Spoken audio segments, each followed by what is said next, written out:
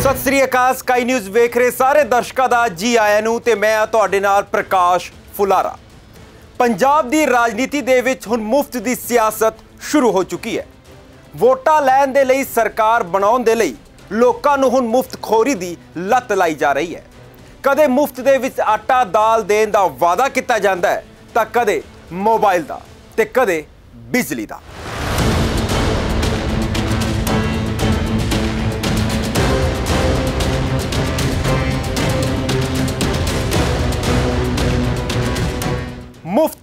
ਮੁਫਤ। ਪੰਜਾਬ ਦੇ ਵਿੱਚ ਮੁਫਤ ਵਾਲੀ ਸਿਆਸਤ।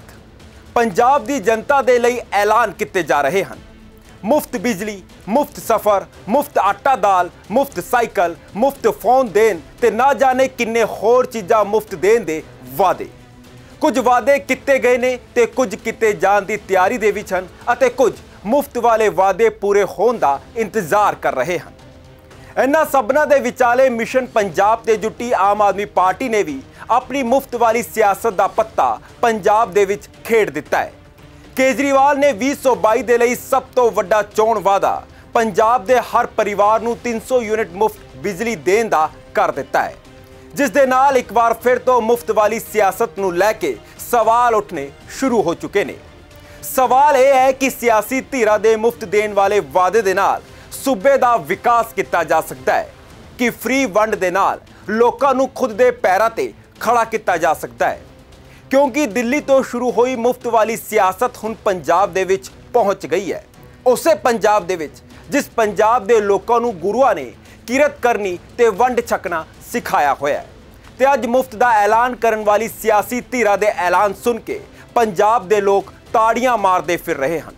ਅਜੇ ਦੇ ਵਿੱਚ ਸਵਾਲ ਇਹ ਹੈ ਕਿ ਪੰਜਾਬ ਦੇ ਲੋਕ ਮੁਫਤ ਖੋਰ ਬਣ ਗਏ ਹਨ। ਕਿ ਸਿਆਸੀ ਪਾਰਟੀਆਂ ਨੇ ਲੋਕਾਂ ਨੂੰ ਮੁਫਤ ਖੋਰ ਕਿਉਂ ਬਣਾ ਦਿੱਤਾ ਹੈ?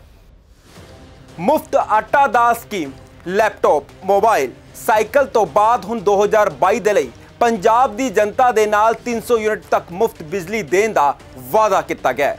ਉਸੇ ਪੰਜਾਬ ਦੀ ਜਨਤਾ ਨੂੰ ਜਿਹੜਾ ਪੰਜਾਬ ਇਸ ਵੇਲੇ ਕਰਜ਼ੇ ਦੇ ਬੋਝ ਦੇ ਥੱਲੇ ਦੱਬਿਆ ਹੋਇਆ ਹੈ ਤੇ ਸਰਕਾਰ ਆਪਣੇ ਕਰਮਚਾਰੀਆਂ ਨੂੰ ਤਨਖਾਹ ਤੱਕ ਨਹੀਂ ਦੇ ਪਾ ਰਹੀ।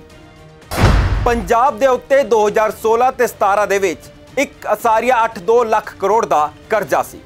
2020-21 ਦੇ ਵਿੱਚ ਪੰਜਾਬ ਦੇ ਸਿਰ ਦੇ ਉੱਤੇ 252880 ਕਰੋੜ ਦਾ ਕਰਜ਼ਾ ਹੋ ਚੁੱਕਿਆ ਹੈ। ਪੰਜਾਬ ਸਰਕਾਰ ਆਪਣੇ ਮੁਲਾਜ਼ਮਾਂ ਨੂੰ ਤਨਖਾਹ ਤੱਕ ਨਹੀਂ ਦੇ ਪਾ ਰਹੀ। ਪੰਜਾਬੀ ਯੂਨੀਵਰਸਿਟੀ ਪਟਿਆਲਾ ਦੇ ਕਈ ਮੁਲਾਜ਼ਮਾਂ ਨੂੰ 3 ਮਹੀਨੇ ਤੋਂ ਤਨਖਾਹ ਨਹੀਂ ਮਿਲੀ।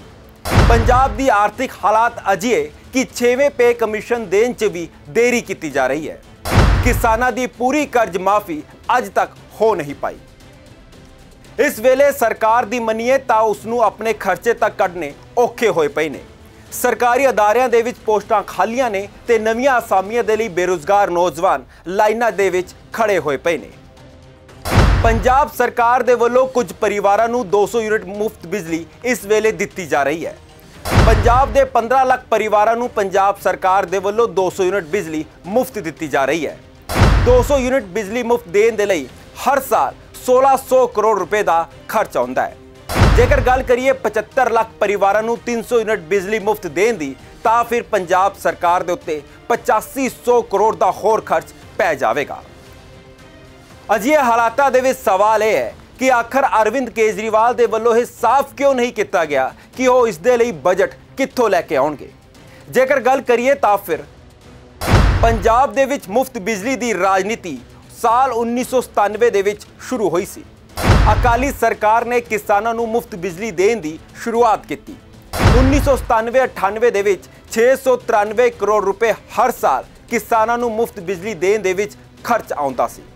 ਅੱਜ ਇਹ ਖਰਚਾ ਵੱਧ ਕੇ 7000 ਕਰੋੜ ਰੁਪਏ ਤੱਕ ਪਹੁੰਚ ਗਿਆ ਸਰਕਾਰ ਦੇ ਉੱਤੇ ਪਾਵਰਕੌਮ ਦਾ 17796 ਕਰੋੜ ਰੁਪਏ ਬਕਾਇਆ ਹੈ, ਜਿਸ ਦੇ ਵਿੱਚੋਂ 7117 ਕਰੋੜ ਰੁਪਏ ਪਿਛਲੇ ਸਾਲਾਂ ਦਾ ਬਕਾਇਆ ਪਿਆ ਹੈ। ਤਾਂ ਫਿਰ ਮੁਫਤ ਦੀ ਰਾਜਨੀਤੀ ਆਖਰ ਕਿਉਂ ਕੀਤੀ ਜਾ ਰਹੀ ਹੈ? ਕਿਉਂਕਿ ਇਸ ਤੋਂ ਪਹਿਲਾਂ ਜਦੋਂ ਆਟਾ ਦਾਲ ਮੁਫਤ ਦੇਣ ਦਾ ਵਾਅਦਾ ਕੀਤਾ ਗਿਆ ਸੀ, ਤਾਂ ਉਹ ਵੀ ਪੂਰੀ ਤਰ੍ਹਾਂ ਦੇ ਨਾਲ ਪੂਰਾ ਨਹੀਂ ਹੋ ਸਕਿਆ। ਤੇ ਕੈਪਟਨ ਦੀ ਸਰਕਾਰ ਦੇ ਵੱਲੋਂ ਸਕੂਲਾਂ ਦੇ ਬੱਚਿਆਂ ਨੂੰ ਮੁਫਤ ਸਮਾਰਟਫੋਨ ਤੇ ਲੈਪਟਾਪ ਦੇਣ ਤੱਕ ਦਾ ਵਾਅਦਾ ਅੱਜ ਤੱਕ ਪੂਰਾ ਨਹੀਂ ਹੋ ਸਕਿਆ।